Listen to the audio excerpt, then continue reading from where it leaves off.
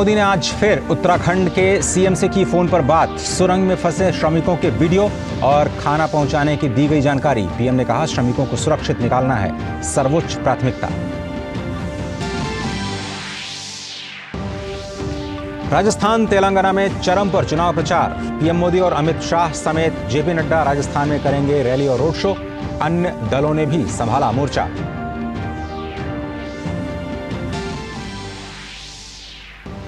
कांग्रेस ने जारी किया राजस्थान का चुनावी घोषणा पत्र सरकारी नौकरी और बीमा योजना समेत किए गए लुभावने वादे। गहलोत खड़गे समेत राहुल गांधी आज करेंगे कई चुनावी रैलियाँ।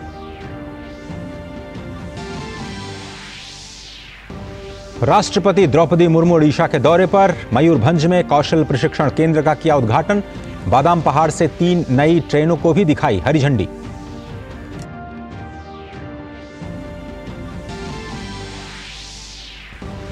भारत ऑस्ट्रेलिया के विदेश मंत्रियों के बीच दिल्ली में आज foreign ministerial framework dialogue.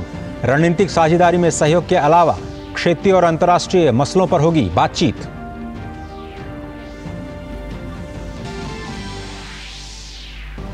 Israel Hamas संघर्ष पर चर्चा के लिए ब्रिक्स देशों की आपातकालीन वर्चुअल बैठक आज।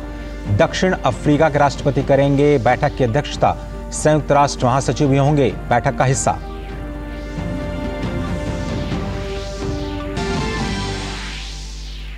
और गोवा में चल रहे भारतीय अंतर्राष्ट्रीय फ़िल्म महोत्सव में हुआ क्रिएटिव माइंड्स ऑफ़ टुमारो का उद्घाटन। सूचना और प्रसारण मंत्री अनुराग सिंह ठाकुर ने की शुरुआत। स्वागत है आप सभी का समाचारों में, मैं हूँ अजय मिश्र। प्रधानमंत्री नरेंद्र मोदी ने एक बार फिर से आज उत्तराखंड के मुख्यमंत्री पुष्कर सिंह धामी से फ़ोन पर बात की और मौजूदा घटनाक्रम समेत राहत और बचाव कार्यों की जानकारी ली है। इस दौरान उन्हें 6 इंच व्यास की पाइपलाइन के सफलतापूर्वक मलबे के आर पार किए जाने और इसके माध्यम से भोजन और अन्य ज़रूरी सामान श्रमिकों तक पहुँचाने के विषय में अवगत कराया गया। प्रधानमंत्री को धामी ने जानकारी दी कि श्रमिकों ने एंडोस्पैकिक फ्लैक्सी कैमरे की मदद से बातचीत की और उनकी कुशलता की जानकारी भी दी गई। इसके बाद पीएम ने कहा कि सभी श्रमिक भाइयों को सुरक्षित निकालना सर्वोच्च प्राथमिकता है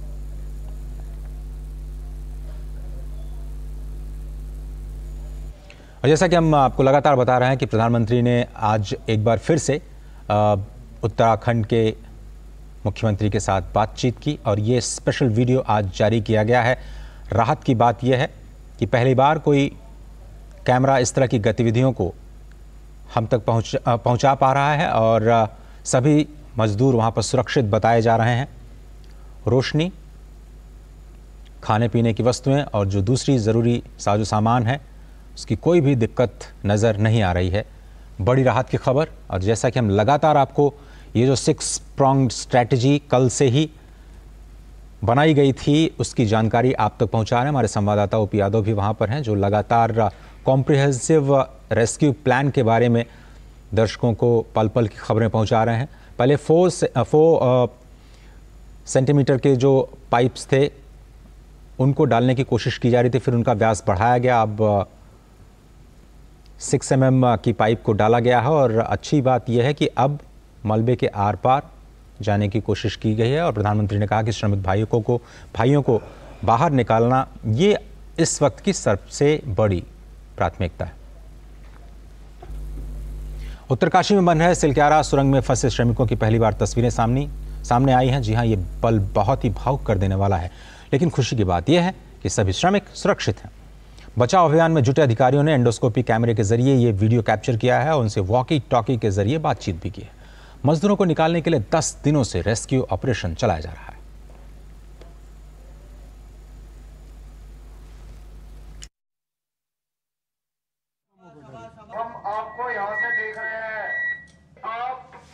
पास आके वॉकी टॉकी से बात करें। पाइप के पास आके वॉकी टॉकी से बात करें। ये कौन है? ये विश्वजीत है हम आपको यहाँ से देख रहे हैं। आप पाइप के पास आके वॉकी टॉकी से बात करें। पाइप के पास आके वॉकी टॉकी से बात करें। ये कौन है? ये विश्वजीत है हम आपको यहाँ से देख रहे हैं। आप पाइप के पास आके वॉकी टॉकी से बात करें। पाइप के पास आके वॉकी टॉकी से बात करें। ये कौन है? ये विश्वजीत है हम आपको यहाँ से देख रहे हैं। आप और उत्तरकाशी में सुरंग के अंदर फंसे मजदूरों के लिए भोजन तैयार किया जा रहा है। छः इंच की पाइप के ज़रिए मजदूरों तक खाना पहुँचाया जाएगा। इससे पहले बोतलों में पैक करके मजदूरों को खिचड़ी भेजी गई थी। मजदूरों को निकालने के लिए लगातार दस दिनों से ऑपरेशन जारी है। रेस्क्यू में जुटी एजेंसियों को कल बड़ी सफलता मिली। मजदूरों को पहली बार खिचड़ी, दाल और फल भेजे गए। इसी तरह से पहली बार नौ दिन से फंसे मजदूरों को गर्म खाना दिया जा सका। दरअसल, सुरंग में छः इंच व्यास की पाइप मलबे के आर पार होने के बाद ये मुमकिन हो पाया है। अभी तक, चार इंच की कंप्रेसर पाइपलाइन के ज़रिए खाने पीने की कुछ हल्की फुल्की चीज़ें वहाँ तक पहुँचाई जा रही थी, लेकिन अब पाइपलाइन के ज़रिए श्रमिकों तक खाद्य सामग्री, दवाएँ और दूसरे सामान आसानी से भेजे जा सकेंगे। बचाव कार्य में लगी केंद्रीय एजेंसियों, एसटीआरएफ और प्रदेश प्रशासन की टीमों की ओर से दिन रात कड़ी मेहनत की जा रही है। सभी श्रमिकों को सुरक्षित बाहर निकालने के लिए युद्ध स्तर पर काम चल रहा है। खुद प्रधानमंत्री मोदी की तमाम परिस्थितियों पर नज़र है और वो केंद्र सरकार की ओर से ज़रूरी सहायता भी भेज रहे हैं। 12 नवंबर को भूस्खलन के बाद सिलक्यारा सुरंग के कुछ हिस्से ढहने से 41 निर्माण करने वाले मजदूर उसमें फंस गए थे।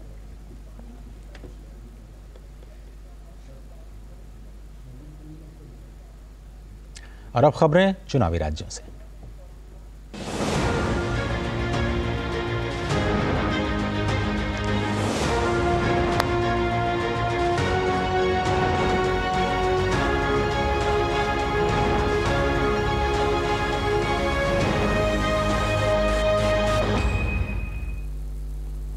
निर्वाचन आयोग के आदेश पर मध्य प्रदेश के भिंड ज़िले में अटेर विधानसभा क्षेत्र के मतदान केंद्र किशुपुरा नंबर तीन पर आज फिर से मतदान हो रहा है। सुबह सात बजे से शुरू हुआ मतदान, शाम छह बजे तक चलेगा। पुनर्मतदान में मतदाताओं के बाएँ हाथ की मध्यमा अंगुली में स्याही लगाई जा रही है। राजस्थान के चुनावी रण में बीजेपी ने अपनी पूरी ताकत झोंक दी है। प्रधानमंत्री नरेंद्र मोदी लगातार यहाँ अलग अलग इलाकों में रैली और रोड शो कर रहे हैं। आज पीएम सबसे पहले अंता में मतदाताओं से मुखातिब होंगे। वे यहाँ पर विशाल चुनावी जनसभा को संबोधित करेंगे। उसके बाद पीएम कोटा के दशहरा मैदान में दोपहर के बाद रैली करेंगे। साथ ही तीन जिलों की दस सीटों के भाजपा प्रत्याशियों के समर्थन में प्रचार करने प्रधानमंत्री नरेंद्र मोदी दोपहर के बाद करौली पहुँचेंगे और सिद्धार्थ सिटी में जनसभा करेंगे। शाम को एक और कार्यक्रम में जयपुर में एक भव्य रोड शो में भी वो हिस्सा लेंगे।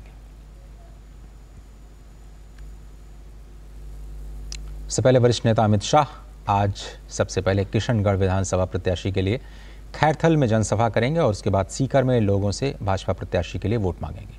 दोपहर बाद झुंझुनू की नवलगढ़ विधानसभा सीट पर भाजपा प्रत्याशी के हक में प्रचार करेंगे। शाम को पाँच बजे सवाई माधोपुर में वे भव्य रोड शो भी करेंगे।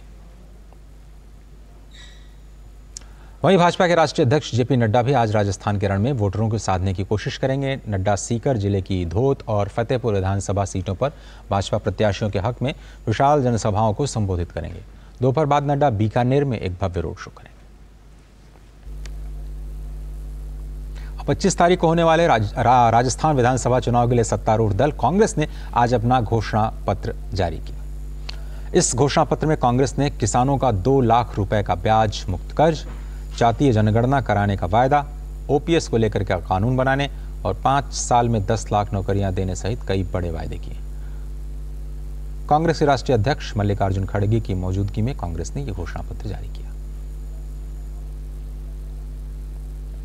स्वच्छ भारत अभियान के प्रति अपनी प्रतिबद्धता के लिए जाने जाने वाले प्रधानमंत्री नरेंद्र मोदी ने एक बार फिर इसी उद्देश्य के प्रति अपना समर्पण प्रदर्शित किया है। सोमवार को राजस्थान के बीकानेर में एक विशाल रोड शो के बाद प्रधानमंत्री ने रोड शो के मार्ग पर तत्काल सफ़ाई अभियान चलाने का आदेश दिया। पीएम के निर्देश का पालन करते हुए बीजेपी कार्यकर्ता तुरंत हरकत में आए। इसके परिणाम स्वरूप रात में ही पूरे मार्ग को साफ़ कर दिया गया। प्रधानमंत्री ने लगातार इस बात पर ज़ोर दिया है कि कार्यक्रमों के समापन के तुरंत बाद रोड शो और रैली स्थलों के मार्गों को भाजपा टीम द्वारा साफ़ किया जाए।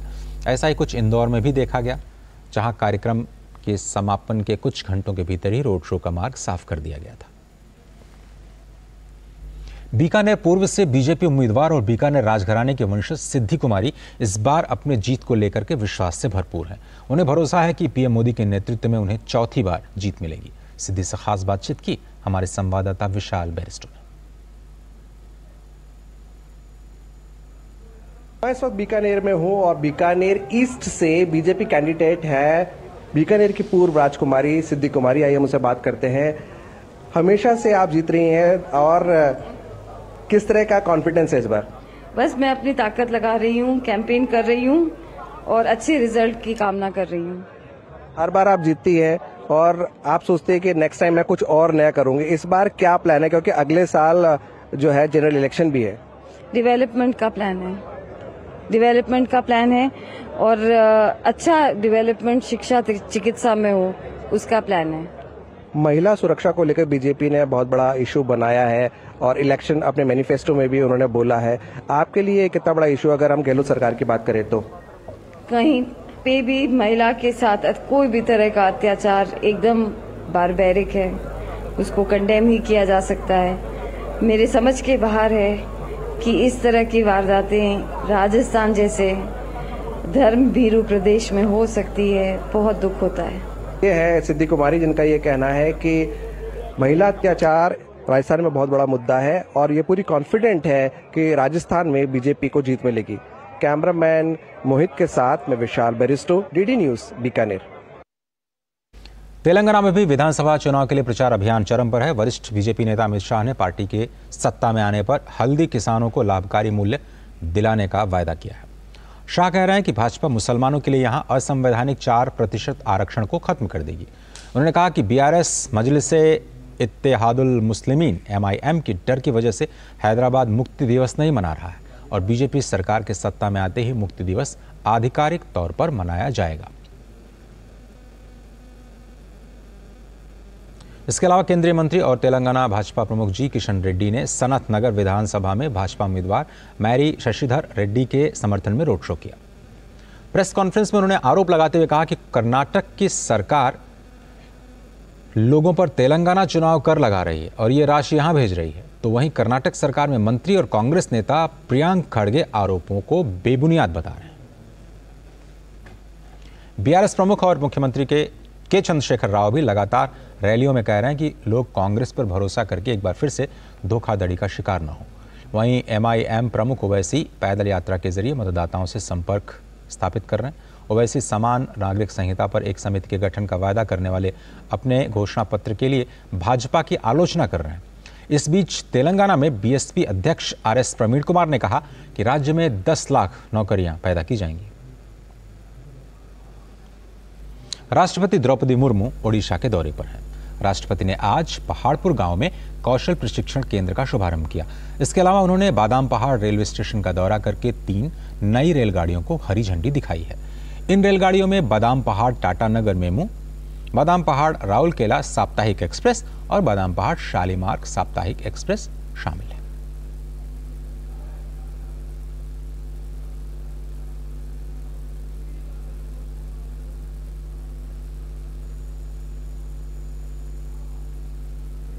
अयोध्या में प्रसिद्ध कार्तिक पूर्णिमा मेले का पहला चरण, जो कि चौदह कोसी परिक्रमा होती है, कड़े सुरक्षा के बीच कल बीती मध्य रात्रि से शुरू हो गई, जो आज दिन भर चलेगी। इस अवसर पर बड़ी संख्या में सरयू स्नान के बाद श्रद्धालु राम जन्मभूमि, कनक भवन, हनुमानगढ़ी आदि मंदिरों में दर्शन पूजन कर रहे हैं और नागेश्वर नाथ महादेव को अभिषेक करने के लिए श्रद्धालुओं की भारी भीड़ उमड़ रही है। जिला प्रशासन ने मेले में 15 लाख श्रद्धालुओं के शामिल होने का दावा किया है। स्वयंसेवी संगठनों ने जगह जगह शिविर लगाए हैं और प्रशासन क्लोज सर्किट टेलीविज़न के साथ ही ड्रोन कैमरे के माध्यम से संपूर्ण मेला क्षेत्र पर नज़र रखे हुए। हमें बहुत खुशी है जो राम मंदिर बन रही है। मैं योगी जी को बहुत धन्यवाद देना चाहता हूँ, क्योंकि ये मंदिर कोई नहीं बनवा पाए। योगी जी और मोदी जी मिलके बनवा दिए।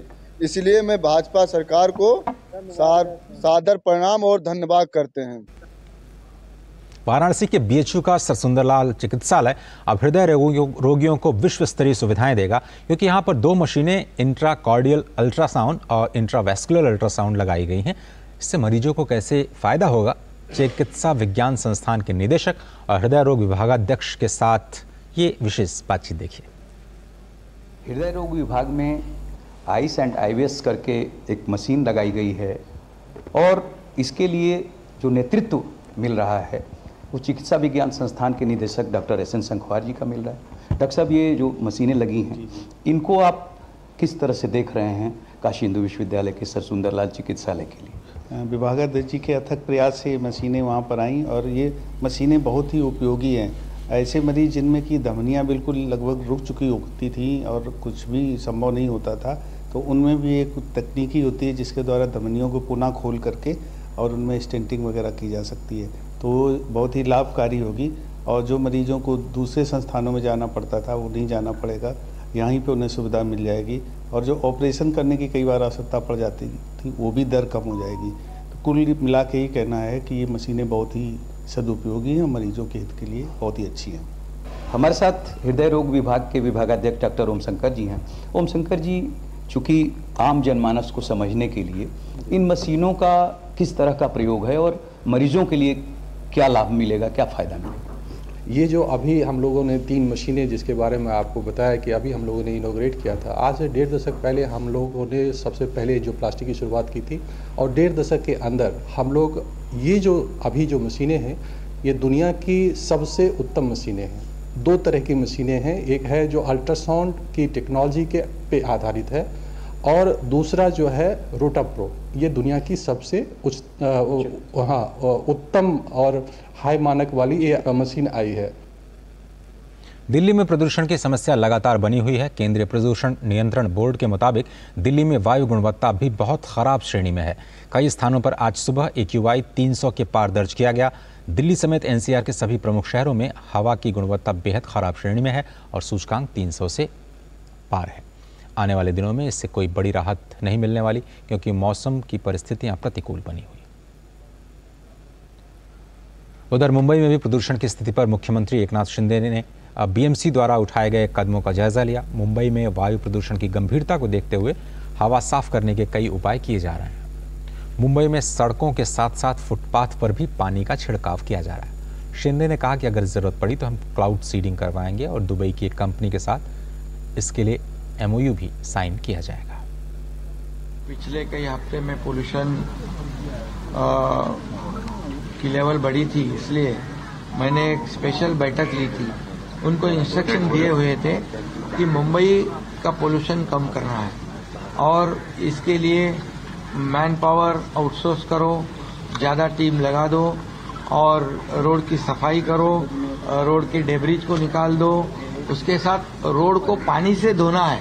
इसीलिए मैंने कमिश्नर जी को कहा है कि एक हज़ार टैंकर आप रेंट पे ले लो एंटी स्मोक गन यूज़ किया है एकदम जेटिंग मशीन यूज़ की हुई है ताकि अभी मैं देख रहा हूँ आज की पूरी तरह कारपोरेशन के लोग रास्ते पे उतरकर काम कर रहे हैं। ज़रूरत पड़ेगी तो क्लाउड सीडिंग भी करने की मैंने सूचना दी हुई है। एक दुबई बेस्ड जो कंपनी है उसके पास उसका एक्यूरेट काम है एक्यूरेसी हंड्रेड परसेंट है। तो उनसे भी एमओयू होगा। एक छोटा सा ब्रेक लेते हैं। अब देखते रहिए टीडी न्यूज़। साल बरस और सदी नहीं एक युग गुजर जाएगा। उम्र न पूछो वंडर की जब फ़र्क नज़र आएगा। वंडर सीमेंट फ़र्क नज़र आएगा। समाचारों में एक बार फिर से स्वागत है आपका। आज विश्व मत्स्य दिवस है। हर साल 21 नवंबर को इसे दुनिया भर में मनाया जाता है। दुनिया भर में सभी मछुआरों, मछली किसानों और संबंधित हित धारकों के साथ एकजुटता प्रदर्शित करने के लिए ये दिन मनाया जाता है। इस मौके पर आज केंद्रीय मत्स्य, पशुपालन और डेयरी मंत्री पुरुषोत्तम रूपाला अहमदाबाद में भारतीय वैश्विक मत्स्य सम्मेलन का उद्घाटन कर रहे हैं। दो दिनों के इस सम्मेलन का विषय मत्स्य और जल संपदा का महत्व है। सम्मेलन का उद्देश्य लाभदायक चर्चाओं, बाज़ार की जानकारियों और नेटवर्किंग के ज़रिए महत्वपूर्ण हितधारकों को एक मंच पर लाना है। उद्घाटन समारोह में लगभग 10 देशों का उच्च स्तरीय शिष्टमंडल उपस्थित रहेगा। श्रीलंका द्वारा रिहा किए गए तमिलनाडु के 15 मछुआरे आज सुबह चेन्नई एयरपोर्ट पहुँचे। श्रीलंकाई समुद्री क्षेत्र के पास मछली पकड़ने के श्रीलंकाई पुलिस ने इन्हें हिरासत में ले लिया था।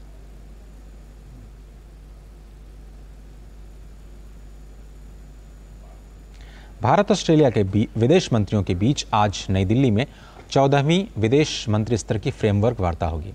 इस वार्ता में आपसी हित के क्षेत्रीय और वैश्विक मुद्दों पर भी विचारों का आदान प्रदान किया जाएगा। इससे पहले कल भारत और ऑस्ट्रेलिया के बीच द्विपक्षीय रक्षा और रणनीतिक संबंधों को और अधिक मजबूती प्रदान करने के लिए टू प्लस टू मंत्री स्तरीय वार्ता हुई थी। दोनों देशों ने लघुपक्षीय और बहुपक्षीय सहयोग मज़बूत करने के साझे हित की प्राथमिकताओं पर भी विचार साझा किया। इंडोनेशिया की राजधानी जकार्ता में ASEAN Bharat media exchange programme के तहत आठ सदस्यीय भारतीय मीडिया प्रतिनिधिमंडल ने आसियान के महासचिव डॉक्टर काओ किम हॉर्न के साथ मुलाकात की। इस दौरान आसियान के महासचिव ने भारत आसियान साझेदारी की प्रशंसा करते हुए कहा कि भारत आसियान के एक प्रमुख व्यापक रणनीतिक साझेदार के रूप में उभरा है और तीन दशक लंबी आसियान भारत साझेदारी में दोनों ही पक्षों को फ़ायदा पहुँचा है। ऐसे समय में जब भारत अपनी एक्ट ईस्ट नीति को प्राथमिकता दे रहा है और पीएम मोदी सितंबर में 25वें आसियान भारत शिखर सम्मेलन में भाग लेने इंडोनेशिया पहुँचे थे, आसियान भी उसी गर्मजोशी के साथ संबंधों को एक नई ऊंचाई पर ले जाने के लिए उत्सुक दिखता है। दक्षिण पूर्व एशियाई देशों का दस सदस्यीय संगठन आसियान पिछले दशक में की गई भारत की विकास गाथा की न सिर्फ़ प्रशंसा करते हुए दिखता है, बल्कि समूह के प्रमुख रणनीतिक भागीदार के रूप में भारत की सकारात्मक भूमिका की सराहना भी करता है। इंडोनेशिया की राजधानी जकार्ता में ASEAN Bharat media exchange programme के तहत आठ सदस्यीय भारतीय मीडिया प्रतिनिधि मंडल ने आसियान के महासचिव डॉक्टर काओ किम हॉर्न से मुलाकात की। भारतीय मीडिया प्रतिनिधियों को संबोधित करते हुए महासचिव ने इस बात पर ज़ोर दिया कि आसियान भारत के साथ अपने संबंधों को बेहद महत्व देता है। उन्होंने तीन दशक लंबे भारत आसियान संबंधों के एक व्यापक रणनीतिक साझेदारी में विकसित होने पर प्रकाश डाला। डॉक्टर काओ ने आने वाले वर्षों में डिजिटल अर्थव्यवस्था, पर्यटन, समुद्री सुरक्षा, आतंकवाद के विरुद्ध लड़ने और व्यापार सहयोग जैसे क्षेत्रों में भागीदारी के और भी प्रगाढ़ होने की उम्मीद जताई। At the moment, ASEAN and India has been working together for more than 30 years. This is a major track record. That's why we have the comprehensive strategic partnership. Of course, uh, we've been working together across different sectors, from trade to investment to tourism to defense sector, counterterrorism, among others. Looking ahead, of course, we hope to continue to expand. Doctor Kao ने क्षेत्रीय व्यापक आर्थिक साझेदारी RCEP में भारत के शामिल होने की वकालत करते हुए कहा कि इससे दोनों पक्षों के लिए बेहतर व्यापार अवसरों का मार्ग प्रशस्त होगा। रूस यूक्रेन युद्ध और इसराइल हमास संघर्ष के मुद्दे पर डॉक्टर काओ ने कहा कि आसियान ने हमेशा कहा है कि संघर्षों को बातचीत के माध्यम से हल किया जाना चाहिए। We believe that the UN has the means and of course the commitment to work toward the resolution of the conflicts around the world, particularly when we see the humanitarian uh, tragedy uh, unfolding for us. And this is quite significant for, for, for the world community. So for ASEAN, we really want to see uh, that what's happening should be de-escalating and should give peace a chance, should give diplomacy a chance. Doctor Kao ने भारत और ASEAN के बीच people to people contact पर प्रसन्नता व्यक्त की। ASEAN Bharat media exchange कार्यक्रम के तहत भारतीय पत्रकारों के द्वारा, आसियान देशों का दौरा और आसियान देशों के पत्रकारों द्वारा भारत का पारस्परिक दौरा शामिल है। इससे दोनों क्षेत्रों के पत्रकारों के बीच, आसियान और भारत के बीच सामाजिक, आर्थिक और सांस्कृतिक लोकाचार की गहरी समझ को बढ़ावा मिलता है। जकार्ता से निखिल सिंह की रिपोर्ट, डीडी न्यूज़। और गोवा में चौवनवें भारतीय अंतर्राष्ट्रीय फ़िल्म महोत्सव में 75 क्रिएटिव माइंड्स ऑफ़ टुमारो के तीसरे संस्करण का उद्घाटन करते हुए सूचना और प्रसारण मंत्री अनुराग सिंह ठाकुर ने कहा कि हमारे युवा इतनी क्षमता रखते हैं कि वो किसी भी ऊंचाई तक जा सकते हैं। उन्होंने कहा कि पीएम मोदी की भी यही सोच है कि युवाओं को अवसर तो दिया जाए।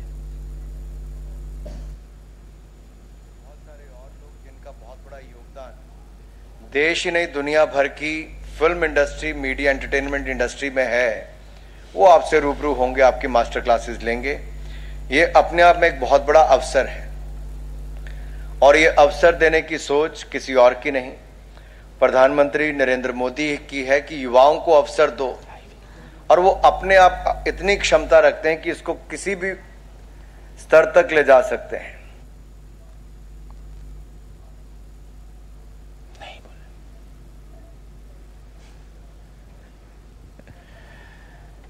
ये आप देख रहे हैं।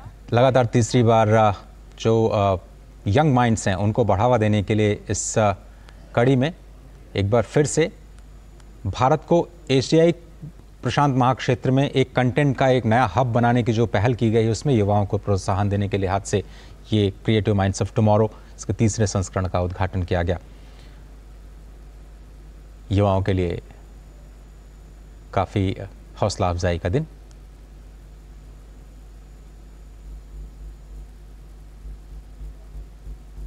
और बुलेटिन में अब बात विकसित भारत संकल्प यात्रा की।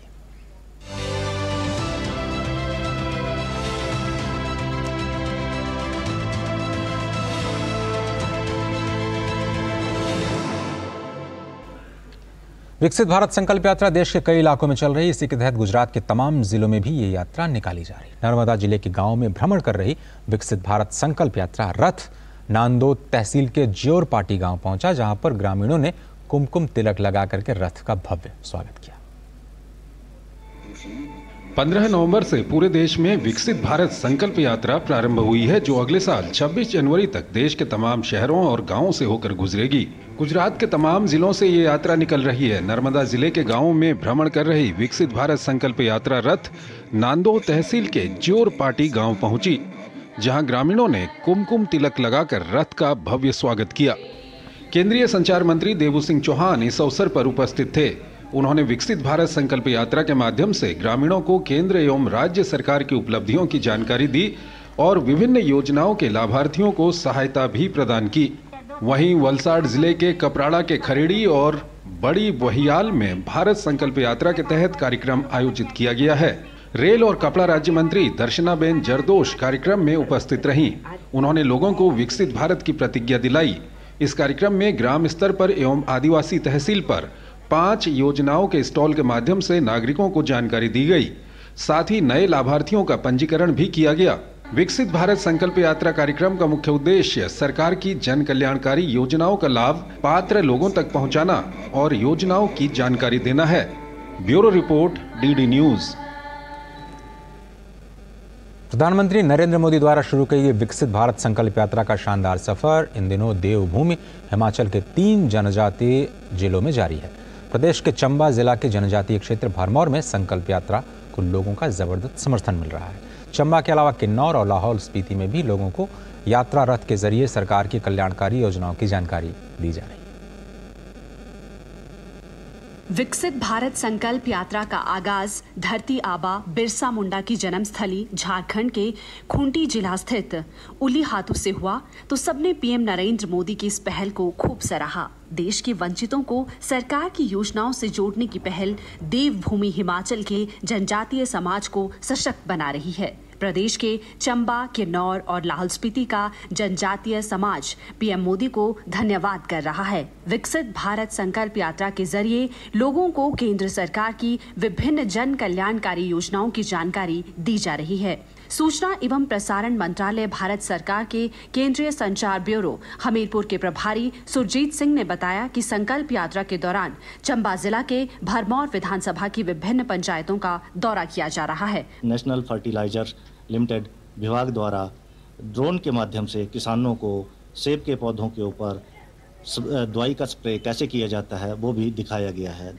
कड़ाके की ठंड के बावजूद जनजातीय क्षेत्र भरमौर में जारी यात्रा को जनता का अपार समर्थन मिल रहा है। जनजातीय इलाके के लोग यात्रा रथ के पास खुद से जानकारी लेने पहुँच रहे हैं। वहीं विभिन्न विभागों के अधिकारी योजनाओं की जानकारी जनता को पहुँचा रहे हैं। भरमौर की चौबिया पंचायत की प्रधान कुमारी बाला ने कहा कि विकसित भारत संकल्प यात्रा का रथ उनकी पंचायत में भी पहुँचा है। उन्होंने सरकार द्वारा पंचायत के लोगों को केंद्रीय योजनाओं की जानकारी देने के लिए पीएम नरेंद्र मोदी का आभार जताया है। यहाँ पर विभिन्न योजनाओं के बारे में बताया गया है। सभी विभागों के कर्मचारी यहाँ पे आए हुए हैं और मेरी पंचायत के लोग इन स्कीमों का फ़ायदा उठा रहे हैं और आगे भी इन स्कीमों का अच्छे से फ़ायदा उठाएँगे। स्पीति क्षेत्र में पम्पलेट और कैलेंडर के ज़रिए सरकारी योजनाओं की जानकारी दी गई तो किन्नौर के निचार ब्लॉक के बड़ी पंचायत में भी यात्रा का उत्साह दिखा। किन्नौर के संगल पंचायत में भी विकसित भारत संकल्प यात्रा के माध्यम से लोगों के घर घर जानकारी दी गई। यात्रा के दौरान विभिन्न केंद्रीय योजनाओं से संबंधित लाभार्थियों ने बताया कि प्रधानमंत्री नरेंद्र मोदी द्वारा देश के हर वर्ग के लिए कई तरह की योजनाएँ चलाई जा रही है, जिससे जनता लाभान्वित हो रही है। महिलाओं को जहाँ प्रधानमंत्री उज्ज्वला योजना का लाभ मिला है तो वहीं किसानों को जैविक खेती की तरफ़ रुझान बढ़ाने के लिए भी व्यापक स्तर पर प्रयास किए जा रहे हैं, जिससे भविष्य में हर वर्ग को लाभ मिलेगा। लाभार्थी विकसित संकल्प यात्रा को देश के विकास की नई उम्मीद बता रहे हैं। इसमें जो भी हमारे घर में हम कुछ भी, जो कुछ भी यूज़ करते हैं, उसी को प्रयोग करके प्राकृतिक खेती को अपनाना है। विकसित भारत संकल्प यात्रा प्रदेश के तीन जिलों के 100 से अधिक जनजातीय ग्राम पंचायतों में जारी है। भारत सरकार द्वारा नामित अधिकारी संकल्प यात्रा की मॉनिटरिंग भी कर रहे हैं ताकि जनजातीय समाज के लोगों को सरकार से सीधे जोड़ा जा सके। ऐसे में उम्मीद की जानी चाहिए कि अगले वर्ष 26 जनवरी तक इस यात्रा का हासिल जनजातीय समाज के लोगों को विकास की मुख्य धारा से जोड़ने में सफल साबित होगा। डीडी हिमाचल के लिए चंबा से विकास ठाकुर, किन्नौर से सीताराम नेगी और लाहौल स्पीति से कुंदन की रिपोर्ट। और आगे बढ़ने से पहले एक बार फिर से नज़र डाल लेते हैं अब तक की हेडलाइंस पर। प्रधानमंत्री मोदी ने आज फिर उत्तराखंड के सीएम से की फ़ोन पर बात। सुरंग में फंसे श्रमिकों के वीडियो और खाना पहुँचाने की दी गई जानकारी। पीएम ने कहा, श्रमिकों को सुरक्षित निकालना है सर्वोच्च प्राथमिकता। राजस्थान तेलंगाना में चरम पर चुनाव प्रचार। पीएम मोदी और अमित शाह समेत जेपी नड्डा राजस्थान में करेंगे रैलियाँ और रोड शो। अन्य दलों ने भी संभाला मोर्चा।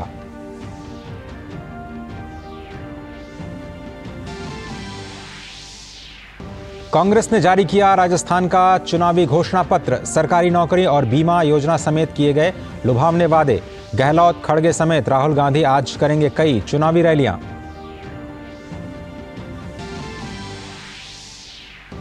राष्ट्रपति द्रौपदी मुर्मू ओडिशा के दौरे पर मयूरभंज में कौशल प्रशिक्षण केंद्र का किया उद्घाटन।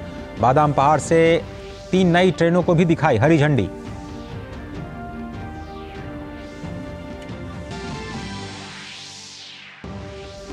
भारत ऑस्ट्रेलिया के विदेश मंत्रियों के बीच दिल्ली में आज foreign ministerial framework dialogue.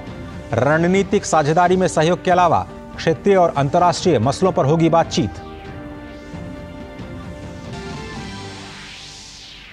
Israel Hamas संघर्ष पर चर्चा के लिए ब्रिक्स देशों की आपातकालीन वर्चुअल बैठक आज।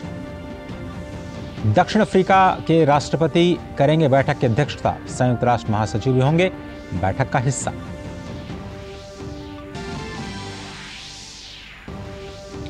और गोवा में चल रहे भारतीय अंतर्राष्ट्रीय फ़िल्म महोत्सव में हुआ क्रिएटिव माइंड्स ऑफ़ टुमारो का उद्घाटन। सूचना और प्रसारण मंत्री अनुराग सिंह ठाकुर ने की शुरुआत।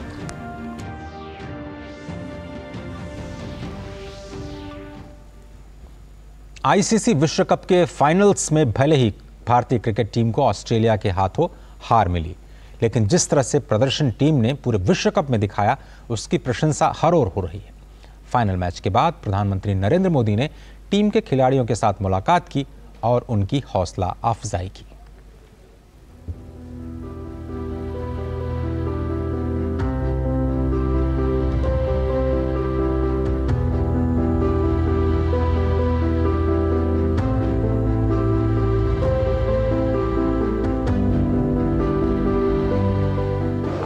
आप पूरा दस दस गेम जीत के आए हो।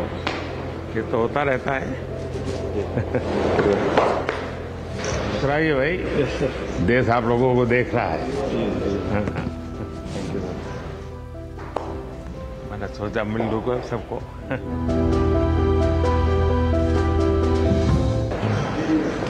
होता है। कहा राहुल? कैसे हैं? आप लोग मेहनत बहुत की है लेकिन कहा बाबू? खेलो ना पड़ दो समय बहुत अच्छा किया है इस बार।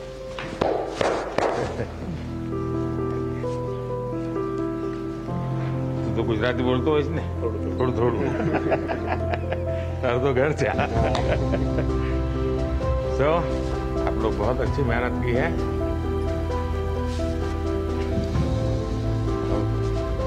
चलिए होता है। होता रहता है ऐसा। हाँ। और साथियों को एक दूसरे को जरा हौसला बुलंद करते चलिए। और जब आप लोग फ्री हो गए कभी दिल्ली आएँगे तो बैठूँगा आप लोगों के साथ। मेरी तरफ़ से निमंत्रण है आप सब ऑस्ट्रेलिया के खिलाफ पाँच मैचों की टी ट्वेंटी सीरीज़ के लिए भारतीय टीम की घोषणा कर दी गई है। तेईस नवंबर से शुरू हो रही सीरीज़ में इस युवा टीम की कप्तानी सूर्य कुमार यादव को दी गई है, जबकि ऋतुराज गायकवाड़ को उप कप्तान बनाया गया है। शिवम दुबे और आवेश खान की भारतीय टीम में वापसी हुई है। ऑस्ट्रेलिया के हाथों वनडे विश्व कप का खिताब गंवाने के बाद अब भारतीय टीम क्रिकेट के सबसे छोटे फॉर्मेट टी में ऑस्ट्रेलिया के खिलाफ ताल ठोकने के लिए तैयार है। विशाखापट्टनम से 23 नवंबर से शुरू होने जा रही पाँच मैच की टी सीरीज़ के लिए सोमवार देर रात भारतीय टीम की घोषणा की गई, जहाँ सीनियर खिलाड़ियों को आराम दिया गया। टीम की कप्तानी का जिम्मा सूर्य कुमार यादव को दिया गया है, जबकि उप कप्तानी ऋतुराज गायकवाड़ को मिली है। आखिरी के दो मुकाबलों में टीम के साथ जुड़ने वाले शेयर सैयर बाद में उप कप्तानी की ज़िम्मेदारी संभालेंगे। ऑस्ट्रेलिया के खिलाफ होने वाली पाँच मैचों की टी सीरीज़ के लिए भारतीय टीम इस प्रकार है। सूर्य कुमार यादव कप्तान, ऋतुराज गायकवाड़ उप कप्तान, ईशान किशन, यशस्वी जायसवाल, तिलक वर्मा, रिंकू सिंह, जितेश शर्मा, वॉशिंगटन सुंदर, अक्षर पटेल, शिवम दुबे, रवि बिश्नोई, अर्शदीप सिंह, प्रसिद्ध कृष्णा, आवेश खान और मुकेश कुमार। सीरीज़ का पहला मुकाबला 23 नवंबर को विशाखापट्टनम में खेला जाएगा। 33 साल के सूर्य कुमार यादव ने भारत के लिए अब तक तिरपन टी इंटरनेशनल मुकाबले खेले हैं। जिसमें उन्होंने छियालीस दशमलव शून्य दो के औसत से 1841 रन बनाए हैं। ज़ाहिर तौर पर वनडे विश्व कप के रोमांच के बाद अब भारतीय क्रिकेट प्रेमियों के लिए टी सीरीज़ का रोमांच सामने होगा, जहाँ भारतीय टीम की नज़र न सिर्फ़ जीत दर्ज करने पर होगी, बल्कि टी विश्व कप को ध्यान में रखकर टैलेंट पूल को बढ़ाने पर भी रहेगी। Sports desk, TD news. FIFA football विश्व कप 2022 में अर्जेंटीना के विजय अभियान के दौरान लॉनल मेसी की पहनी हुई छह जर्सीज को आज नीलाम किया जाएगा नीलामी में एक करोड़ डॉलर, यानी करीब तिरासी करोड़ रुपए से ज़्यादा की राशि मिलने की संभावना है अपने दमदार खेल से अर्जेंटीना फुटबॉल टीम को 2022 फुटबॉल विश्व कप का सरताज बनाने वाले लायनल मैसी एक बार फिर चर्चा में हैं। लेकिन इस बार अपने खेल के लिए नहीं, बल्कि उस टी शर्ट के लिए जिसको पहनकर उन्होंने अर्जेंटीना को विश्व फुटबॉल का खिताब दिलाया। फीफा विश्व कप 2022 में अर्जेंटीना के विजयी अभियान के दौरान लियोनल मेसी की पहनी हुई सात में से छह जर्सी को नीलाम किया जाएगा। नीलामी में एक करोड़ डॉलर, यानी लगभग तिरासी करोड़ रुपए से अधिक की राशि मिलने की आशा है। नीलामी करने वाली संस्था साधवी के अनुसार ये खेल यादगार वस्तुओं का अब तक का सबसे मूल्यवान संग्रह बन सकता है। साधवी ने सोमवार को कहा कि वो अर्जेंटीना के कप्तान लियोनल मेसी की कतर में पहनी गई सात जर्सियों में से छह को न्यूयॉर्क में बिक्री के लिए रखेंगे। इनमें वो जर्सी भी शामिल है जो उन्होंने फ्रांस के विरुद्ध फाइनल में ऐतिहासिक जीत के दौरान पहनी थी। मेसी फुटबॉल के दूसरे कई खिलाड़ियों की तरह अक्सर प्रत्येक मैच के अंत में प्रतिद्वंदी टीम के किसी खिलाड़ी के साथ अपनी टी शर्ट की अदला बदली करते रहे हैं। गौरतलब है कि कतर विश्व कप में अर्जेंटीना ने फाइनल में पेनल्टी शूटआउट में फ्रांस को हराकर तीसरी बार विश्व खिताब पर कब्जा जमाया था।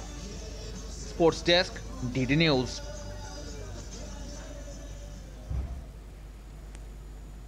और बार्सिलोना के स्टार फुटबॉलर गावी जॉर्जिया के खिलाफ यूरो 2024 क्वालिफायर खेलते हुए गंभीर रूप से घायल हो गए।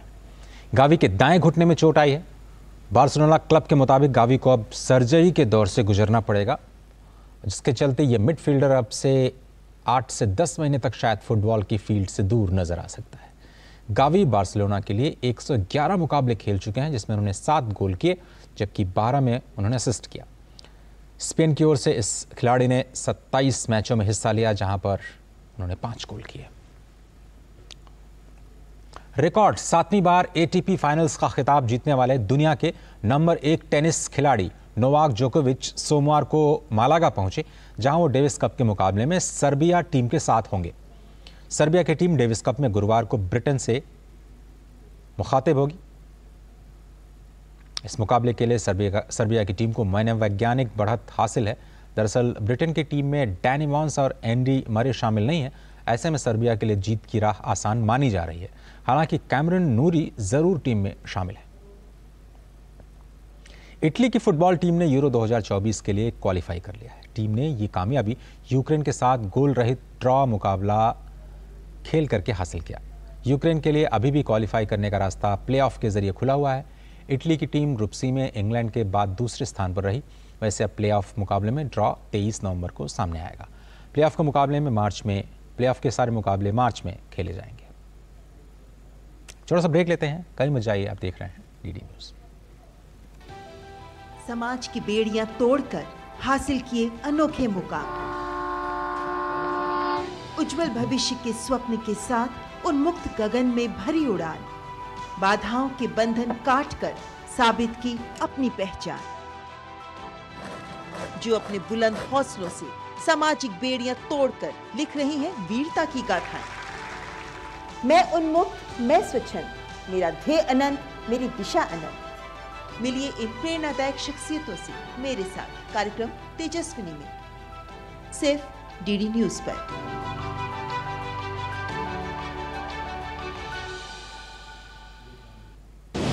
पाँच चुनावी राज्यों की चुनावी मिसाल छत्तीसगढ़, मध्य प्रदेश, राजस्थान, तेलंगाना, मिजोरम का सियासी घमासान। किस राज्य में किसकी बनेगी सरकार? क्या है राजनीतिक दलों के दावे और क्या है उनकी हकीकत? हर राज्य की चुनावी खबर और जनता के मुद्दे। होगा चुनाव से जुड़ी हर खबर का अपडेट। देखिए जनादेश। सोमवार से शुक्रवार हर शाम सात बजे सिर्फ़ डीडी न्यूज़ पर। रोज़गार के मोर्चे पर अच्छी खबर है। संगठित क्षेत्र में नई नौकरियाँ बढ़ी हैं।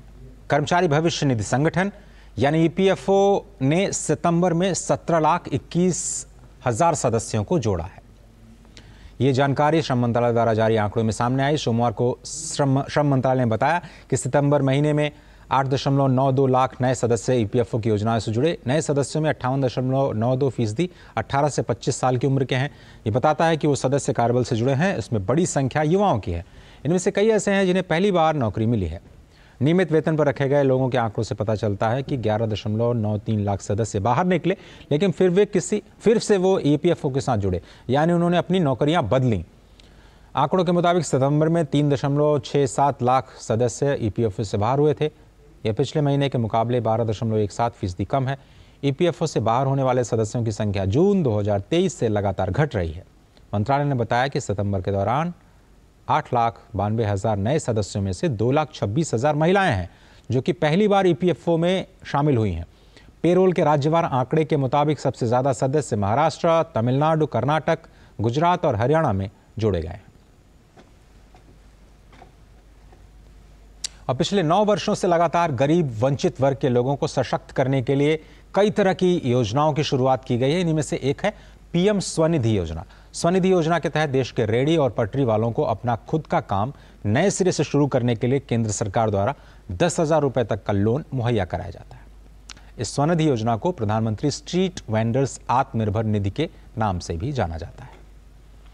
ताज़ा आंकड़ों की बात करें तो 55 लाख से ज़्यादा स्ट्रीट वेंडर्स को पीएम स्वनिधि योजना का लाभ मिल चुका है। सरकारी आंकड़ों के मुताबिक अब तक 9,600 करोड़ रुपए के लोन दिए जा चुके हैं।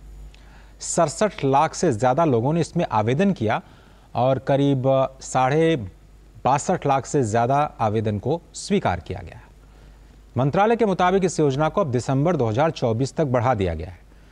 स्वनिधि योजना के तहत सरकार द्वारा दस हज़ार रुपए का लोन प्राप्त किया जा सकता है। हाल ही में एसबीआई की एक रिपोर्ट आई थी जो ये कहती है कि योजना के 75 फ़ीसदी लाभार्थी गैर सामान्य वर्ग से हैं। कुल वितरण में ओबीसी का हिस्सा करीब 44 फ़ीसदी है और एस सी का हिस्सा 22 फ़ीसदी। इस तरह से सामाजिक ताने बाने को दुरुस्त या संतुलित करने के लिहाज से ये योजना काफ़ी इंपॉर्टेंट साबित हो रही है। कुल महिलाओं में अगर हम महिलाओं की बात करें, कुल लाभार्थियों में तो वो तैंतालीस फ़ीसदी है। और शहरों में महिलाओं का सशक्तिकरण किया जा रहा है इस योजना के ज़रिए। दरअसल अगर आप दस हज़ार लोन लेते हैं, उसके बाद चुका देते हैं तो आपको बीस हज़ार रुपये का लोन मिलता है। ऐसे लोगों का अनुपात अड़सठ परसेंट है। और अगर आप बीस हज़ार रुपये भी चुकाते हैं तो आपको फिर पचास हज़ार रुपये का लोन मिलता है। ऐसे लोगों का अनुपात पचहत्तर फ़ीसदी है।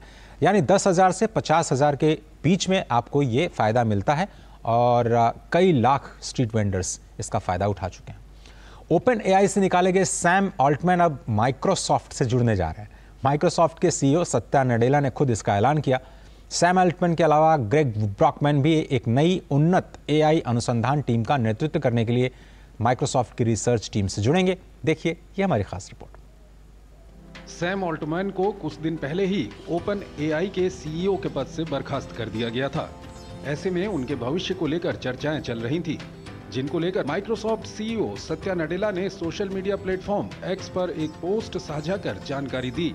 उन्होंने बताया कि ऑल्टमैन और ब्रॉकमैन अपने सहकर्मियों के साथ माइक्रोसॉफ्ट से जुड़ने जा रहे हैं। उन्होंने कहा, माइक्रोसॉफ्ट ओपन एआई के साथ साझेदारी बनाए रखने के लिए प्रतिबद्ध है। अपने प्रोडक्ट के रोड मैप माइक्रोसॉफ्ट इग्नाइट में घोषित हर चीज़ को लेकर इनोवेशन करते रहने की अपनी क्षमता और अपने ग्राहकों और साझेदारों का समर्थन बरकरार रखने की अपनी कुशलता पर हमें भरोसा है। हम इमेड शेयर और ओपन एआई की नई लीडरशिप टीम को जानने और उनके साथ काम करने को लेकर उत्सुक हैं। हमें ये खबर साझा करते हुए बहुत खुशी हो रही है कि अपने सहकर्मियों के साथ सैम ऑल्टमैन और ग्रेग ब्रॉकमैन नई उन्नत एआई रिसर्च टीम का नेतृत्व करने के लिए माइक्रोसॉफ्ट ज्वाइन करेंगे। नडेला ने कहा, हम उनकी सफलता के लिए उन्हें ज़रूरी संसाधन उपलब्ध कराने के लिए जल्द आगे बढ़ने की उम्मीद करते हैं। सत्या नडेला के इस ऐलान का ऑल्टमैन ने जवाब दिया है। अपने सोशल मीडिया प्लेटफॉर्म एक्स पर उन्होंने आर्टिफिशियल इंटेलिजेंस पर हो रहे प्रयास का ज़िक्र करते हुए इतना लिखा, ये मिशन जारी रहेगा। वहीं टेस्ला के सीईओ एलन मस्क ने सोमवार को ऑल्टमैन और ब्रॉकमैन की नियुक्ति की घोषणा करने वाली नडेला के एक्स पोस्ट का जवाब देते हुए कहा, अब उन्हें टीम्स का उपयोग करना होगा। दरअसल मस्क माइक्रोसॉफ्ट टीम्स का ज़िक्र कर रहे थे, जो माइक्रोसॉफ्ट द्वारा डेवलप बिज़नेस कम्युनिकेशन प्लेटफॉर्म है। एलन मस्क ने यह भी कहा कि उन्नत आर्टिफिशियल इंटेलिजेंस के जोखिम और क्षमता को देखते हुए जनता को सूचित किया जाना चाहिए कि बोर्ड को ऐसा क्यों लगा कि उन्हें इतनी कठोर कार्रवाई करनी पड़ी। ओपन आई कंपनी के बोर्ड ने 17 नवंबर को ही सीईओ सैम ऑल्टमैन को पद से बर्खास्त कर दिया था। ओपन एआई ने इसके पीछे कारण दिया कि सैम बोर्ड के साथ सही से कम्युनिकेट नहीं करते हैं, जिसके कारण बोर्ड के लिए काम करना मुश्किल हो रहा है। ताज़ा अपडेट के मुताबिक ऑल्टमैन की बर्खास्तगी और ग्रेग ब्रॉकमैन के इस्तीफे के बाद ओपन एआई से तीन सीनियर रिसर्चर्स ने भी इस्तीफा दे दिया था और कई अन्य लोगों के जाने की तैयारी है। रिपोर्ट में कहा गया ऑल्टमैन की बर्खास्तगी के बाद कुछ कर्मचारियों का जाना बेहद निराशा का संकेत है। Bureau report, DD news.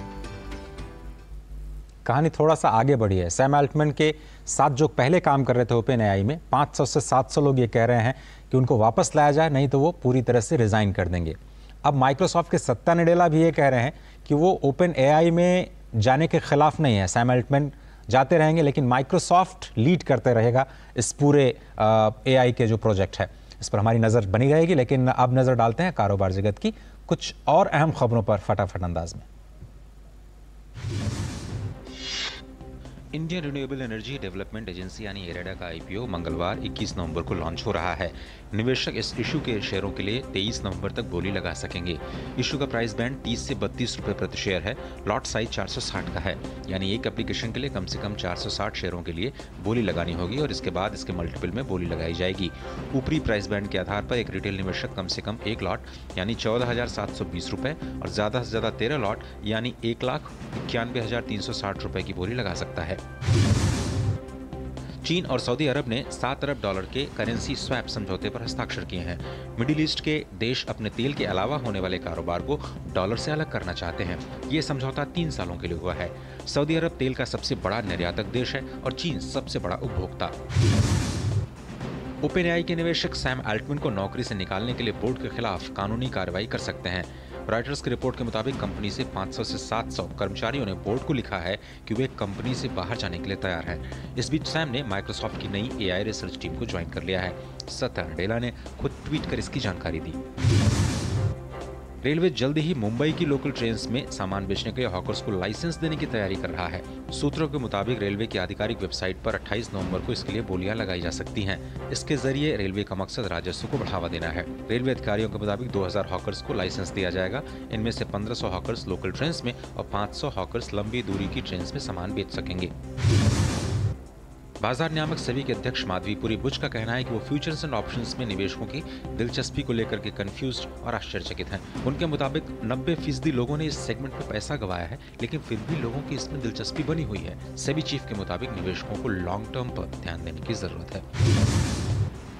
नवंबर महीने में अब तक क्रिप्टो करेंसी में 173 मिलियन डॉलर का नुकसान हुआ है, जिसमें दो घटनाओं से छियानवे फ़ीसदी का नुकसान हुआ। ब्लॉकचेन और स्मार्ट कॉन्ट्रैक्ट सुरक्षा कंपनी सर्किट के मुताबिक नवंबर में पहले ही 2023 में चौथा सबसे बड़ा मासिक घाटा दर्ज किया गया है। आरबीआई ने नियामक अनुपालन में कमियों के लिए चार सहकारी बैंक और एक गैर बैंकिंग वित्तीय संस्थान पर सड़सठ लाख रुपए से ज़्यादा का मौद्रिक जुर्माना लगाया है। जिन सहकारी बैंकों और एनबीएफसी पर जुर्माना लगाया गया, उनमें Nashik merchants cooperative bank limited, मेसाड़ा urban cooperative bank limited, Sangli Sahakari bank limited Pudukkottai cooperative town bank limited और NBFC Sampers finance and consultancy private limited शामिल है। आरबीआई ने कर्ज में डूबी अनिल अंबानी की कंपनी रिलायंस कैपिटल के बोर्ड में डायरेक्टर के तौर पर हिंदुजा ग्रुप के पाँच प्रतिनिधियों को शामिल करने को मंजूरी दे दी। दिवालिया प्रक्रिया से गुजर रही रिलायंस कैपिटल के बोर्ड में Amar Chinta Pant Sharad Chand V Jaregaonkar, Moses Newling Harding Jog, Bhumika Batra और अरुण तिवारी को शामिल किया गया है। आरबीआई ने 29 नवंबर 2021 को गंभीर समस्याओं की वजह से अनिल अंबानी की इस कंपनी के बोर्ड को भंग कर दिया था। भारत में मल्टी लेवल मार्केटिंग के ज़रिए कारोबार करने वाली कंपनी एमवे इंडिया के खिलाफ प्रवर्तन निदेशालय ने मनी लॉन्ड्रिंग मामले में शिकायत दर्ज कराई है। ईडी का आरोप है कि एमवे इंडिया ने 4000 करोड़ रुपए की अवैध आय अर्जित की और इसका एक बड़ा हिस्सा देश के बाहर स्थित बैंक खातों में भेजा। ईडी ने Amway India enterprises private limited के खिलाफ हैदराबाद विशेष पीएमएलए अदालत में चार्जशीट दाखिल की है। केंद्र सरकार ने विनय एमटोस को 30 नवंबर 2025 तक भारतीय स्टेट बैंक का प्रबंध निदेशक नियुक्त किया है। नियुक्त से पहले टोन्स पीएससी बैंक में उप प्रबंध निदेशक के रूप में कार्यरत थे। सितंबर में एसबीआई के वरिष्ठ पद के लिए वित्तीय सेवा संस्थान ब्यूरो द्वारा राज्य के स्वामित्व वाले बैंक के उप प्रबंधक की सिफारिश की गई थी। दिल्ली के प्रगति मैदान में चल रहे बयालीसवें भारत अंतर्राष्ट्रीय व्यापार मेले में हर दिन काफ़ी संख्या में दर्शक पहुँच रहे हैं। इनमें से ज़्यादातर दर्शक प्रधानमंत्री नरेंद्र मोदी की तस्वीर के साथ सेल्फी लेकर के भी उत्साहित हैं। मेले में मिलेट्स के उत्पाद देखे जा रहे हैं। बड़ी संख्या में स्टार्टअप्स भी अपने उत्पादों को प्रदर्शित कर रहे हैं। इतना ही नहीं, मेले में हर दिन सांस्कृतिक कार्यक्रमों की भी धूम है। कैसी धूम है इस मेले में, इसका जायजा लिया हमारे संवाददाता गिरीश निशाना ने। भारत अंतर्राष्ट्रीय व्यापार मेले में रोज़ाना काफ़ी संख्या में दर्शक पहुँच रहे हैं। जो मेले में दर्शक पहुँच रहे हैं, वो जमकर सेल्फी भी ले रहे हैं और सबसे ज़्यादा सेल्फी ली जा रही है प्रधानमंत्री नरेंद्र मोदी के कटआउट के साथ।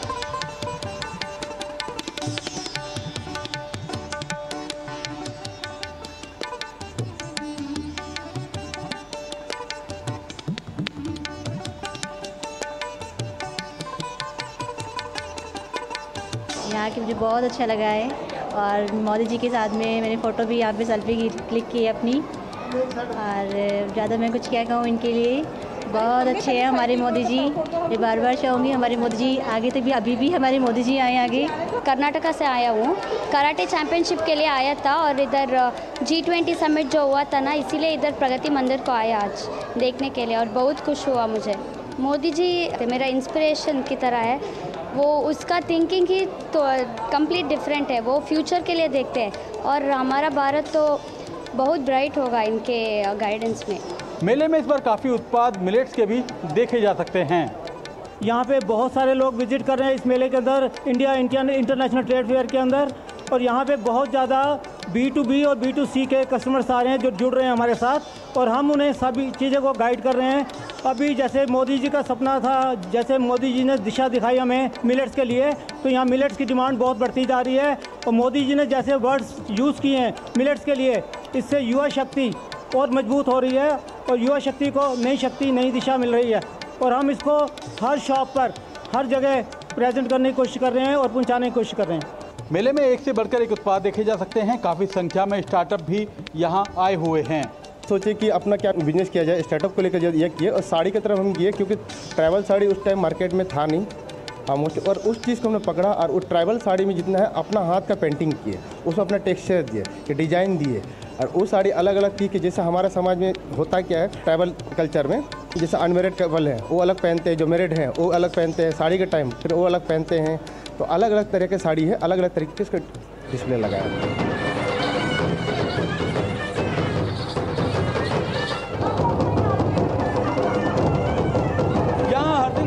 कार्यक्रमों का भी आयोजन किया जा रहा है, जिसे लोग काफ़ी पसंद कर रहे हैं। कैमरामैन आनंद कुमार के साथ गिरीश निशाना डी न्यूज़ दिल्ली।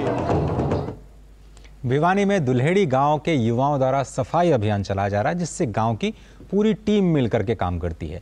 युवाओं के सराहनीय प्रयास के लिए प्रधानमंत्री मोदी भी अपने मन की बात कार्यक्रम में प्रशंसा कर चुके हैं। इसके बाद युवाओं का उत्साह और अधिक बढ़ गया है। अब युवा केवल अपने ही नहीं, बल्कि आसपास के कई गाँवों में सफ़ाई अभियान शुरू कर चुके हैं। आपको दिखाते हैं स्पेशल रिपोर्ट और इसी के साथ मुझे दीजिए इजाज़त। नमस्कार।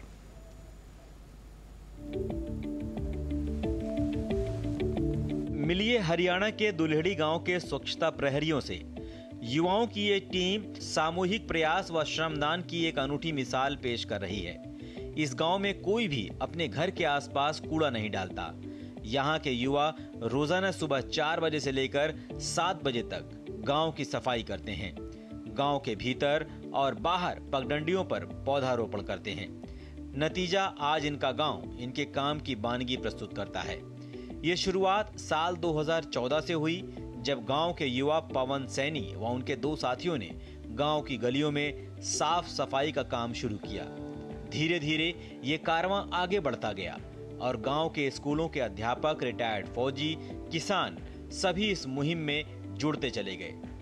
आज स्थिति ये है कि गाँव के हर घर से ट्रॉली के माध्यम से कूड़ा उठता है और गाँव की सभी गलियाँ व सार्वजनिक स्थल साफ़ सुथरे नज़र आते हैं।